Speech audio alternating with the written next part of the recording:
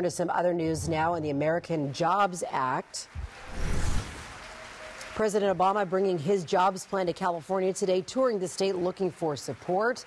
During a town hall hosted by LinkedIn, the president talked about why it was so important for his American Jobs Act to be passed and to be passed now. But the American people cannot afford to wait.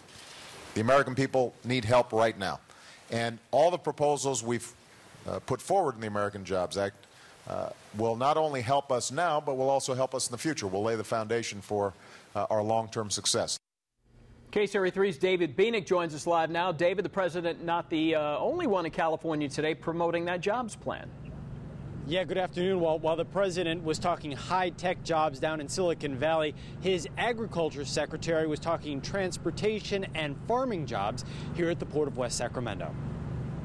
Good morning.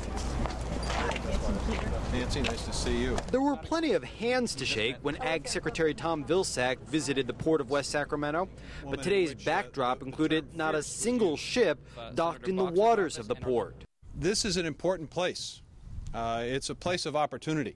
Earlier, local officials say they pitched Vilsack on the $65 million idea of deepening the shipping channel that connects this port to San Francisco Bay so that heavier, more fully loaded ships can access this facility, generate more trade, and create jobs. But to get projects like that done, we need the Congress to pass the American Jobs, American Jobs Act.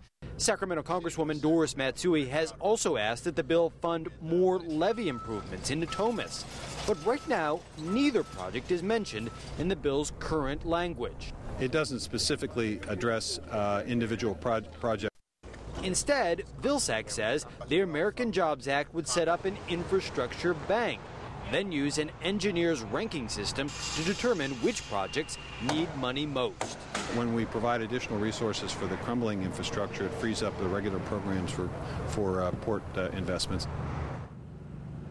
Now, many Republicans have uh, pronounced the president's job plan dead on arrival. So, why is the president pushing it so hard?